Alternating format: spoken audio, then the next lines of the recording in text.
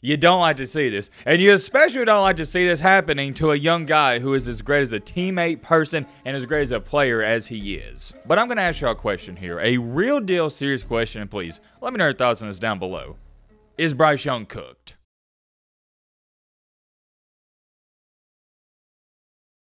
Ladies and gentlemen, boys and girls, it's time to talk about Bryce Young, and it feels like we haven't talked about this dude since about week one or week two of the NFL season. And come to think about it, I think the reason it does feel that way is because, yeah, we haven't talked about him since then. It's been a hot minute, and we're also going to talk a little bit about CJ Stroud in this video as well, comparing the two guys, and that's a little foreshadowing, so stay tuned for that. But the focal point is most definitely Bryce Young in the terrible, and I mean the absolute atrocious, terrible, awful, whatever you want to call it, situation that he's currently in. There's no way to sugarcoat this situation for Bryce Young. You don't like to see this. And you especially don't like to see this happening to a young guy who is as great as a teammate, person, and as great as a player as he is. It's extremely sad and unfortunate this is happening to him, but it's the reality, and sometimes life isn't fair. If you don't know what I'm talking about, well, don't worry. We're going to talk all about it in today's video. And we're not doing no intro, none of that. We're getting straight into this. I don't got time to waste. You don't got time to waste either. It's relatively simple. If you like content like this, consider joining our amazing community. We'd love to have you here. If you don't want to join, that's cool too. But let me give you some context to our situation for those of you that aren't too familiar with what's going on and what's been going on. He doesn't need an introduction, but if you don't know who he is and his history, let me run you through real briefly here. He was the man in middle school, the man in high school, five star recruit. He goes to Alabama. He was a star player, one of the best quarterbacks Alabama has ever had. And oh, yeah, can't forget to mention, throw in there,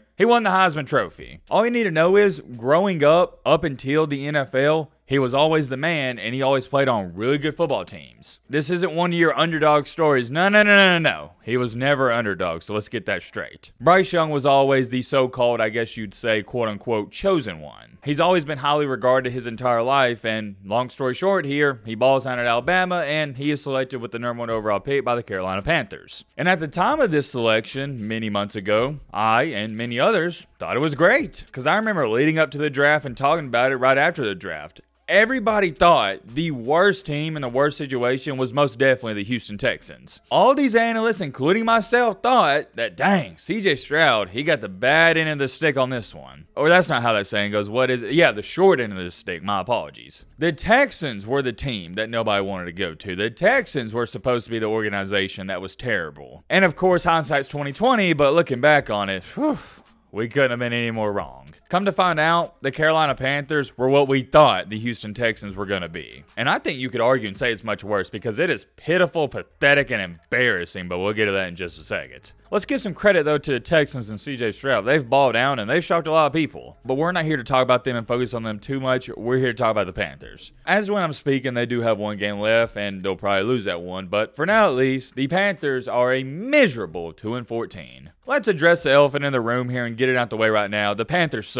And it's not just like they're missing a couple of pieces and they're losing heartbreaking games. No, no, no, no, no. From top to bottom, they suck. They are missing so many pieces and they need so much crap to be done in them. It's not even funny. This isn't like, oh, you just need a couple guys in the draft. Oh, you need a new head coach. No, you need a bunch of different things. And this is a two to three year rebuild. And they're trying to fix it. I'll give them some credit there, but this isn't going to be something they turn around next year. It's going to take a while, at least in my humble opinion. And unfortunately, Bryce Young has been the beneficiary of this terrible offense and more importantly, this atrocious and awful offensive line. A couple weeks ago, there was a play against the Saints, and when I saw this, I was like, yeah, I gotta make a video on this. It was a play action, and as soon as Bryce Young fakes the handoff, you look up and there's six Saint defenders in the backfield. And the craziest part about it was Bryce Young avoided a couple of them and still got mauled. It was bad, man. And I was like, yeah, that sums up this season completely. And they need to get Bryce Young out of there. And I started thinking to myself after that play, you know what? The Panthers, they're not making the playoffs.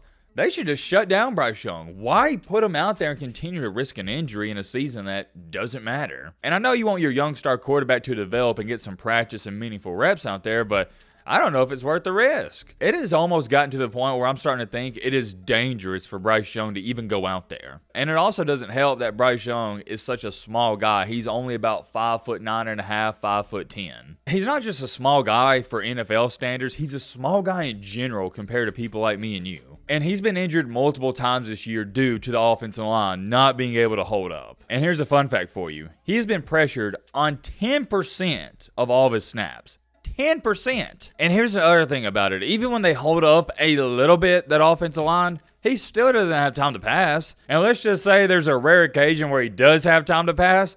Well, who's he throwing the ball to? Nobody. He has no weapon, no help. It really is a sad situation, and it's hard to watch. And you have all these casuals out here going, oh, well, I guess Bryce Young was overhyped. I guess he ain't that good. If he was really good, he'd go out there and ball out like CJ Stroud. Listen up, buddy. Take nothing away from CJ Stroud. I've praised him even before he got to the Texans, but this is just a bad situation, and it's different. If you flip flop CJ Stroud and Bryce Young right now, I think it'd be the same thing. Bryce Young would be balling out for the Texans, and CJ Stroud would be having a rough time with the Panthers. A lot of people fail to realize your success in the NFL, 90% of it is based off of what team you go to. Depending on what team you go to, let's say you go to a great organization, well, it's going to be good for your career and you're going to benefit from it, just like, oh, I don't know, Brock Purdy. On the flip side, if you go to the Jets, we know what happens there. That's where quarterbacks go to die. It's not complicated. You see it in the NFL and you see it in the NBA. Do you think it's a coincidence that all these no name undrafted rookies are star players for the Heat? No, they develop players great. They have a great organization and franchise. On the flip side, do you think it's a coincidence that all these top players go to the Magic and the Magic have sucked for the past 10 years?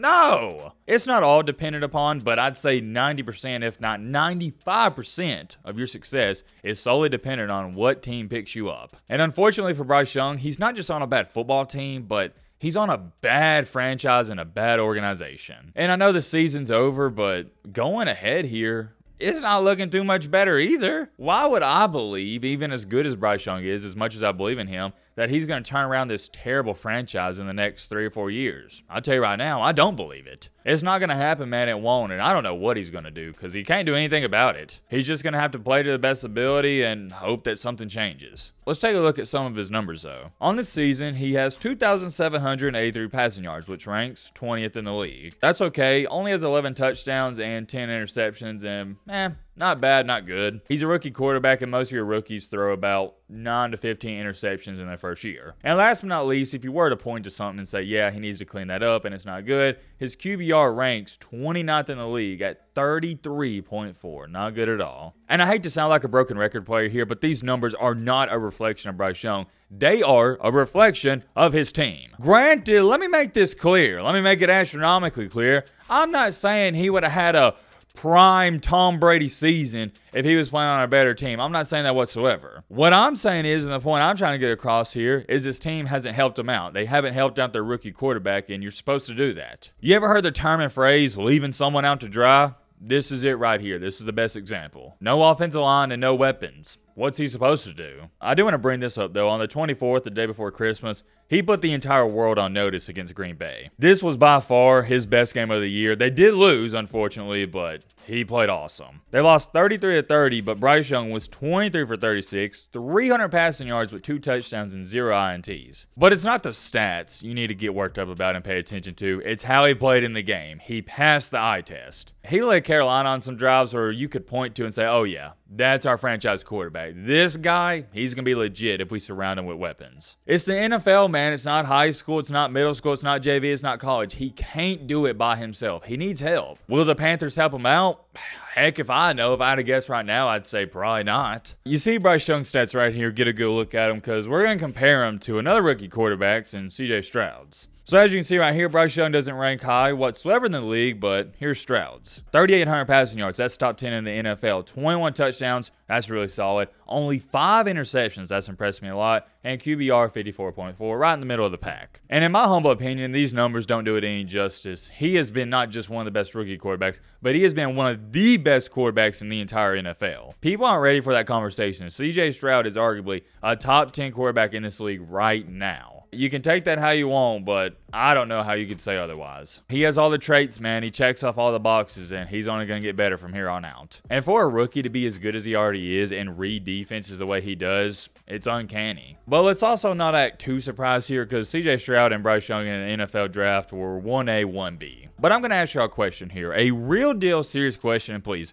let me know your thoughts on this down below is Bryce Young cooked? And what I mean when I say that is when somebody's cooked, there's no going back. He can't do anything about it. He's cooked. Nothing is worse for a quarterback than going to the wrong franchise and also mentally, this could be bad for him. Him losing all these games and not playing to the best of his ability could be hurting his confidence. And that is the last case and scenario you want for a rookie quarterback for him to start questioning himself. Now, I don't think Bryce Young is questioning his abilities, but it happens a lot. You'll see these great quarterbacks go to the wrong team and franchise, and yeah, that's raps. We'll probably talk more about this in the offseason, but I do want to address it now because I couldn't wait any longer. Let me know your thoughts down below. But uh, Robin!